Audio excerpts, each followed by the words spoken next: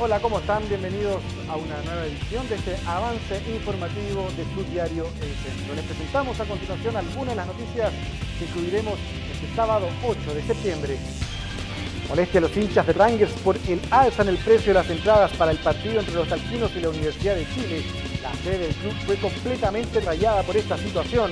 La galería tendrá un costo de 7 mil pesos, la tribuna de 15 mil y 20 mil la preferencial. Además, autoridades y carabineros inspeccionaron el estadio fiscal, ya que el encuentro fue catalogado de alto riesgo.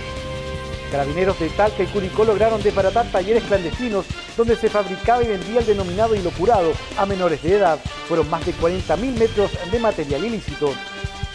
Hasta el juzgado de garantía de Talca acudieron las autoridades del Sename y de la Gobernación Provincial para entablar una querella en contra de un docente de la escuela José Abelardo Núñez, esto por supuestos abusos sexuales contra un estudiante. Siguen las fiscalizaciones a las carnicerías a raíz de las fiestas patrias. Esta vez en Cauquenes se decomisaron más de 68 kilos de carne en mal estado en un supermercado perteneciente a una cadena nacional. Además, en nuestro suplemento temas conoceremos el perfil del médico Francisco Ramírez, quien protagonizó el parricidio de sus tres hijos y luego se suicidó frente a su esposa. Amigos de la familia, colegas y madre cuyos hijos se atendieron con el facultativo aportan antecedentes de su contradictoria personalidad.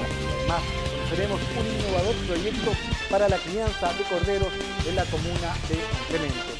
Esta y otras noticias en detalle en su diario, El Centro.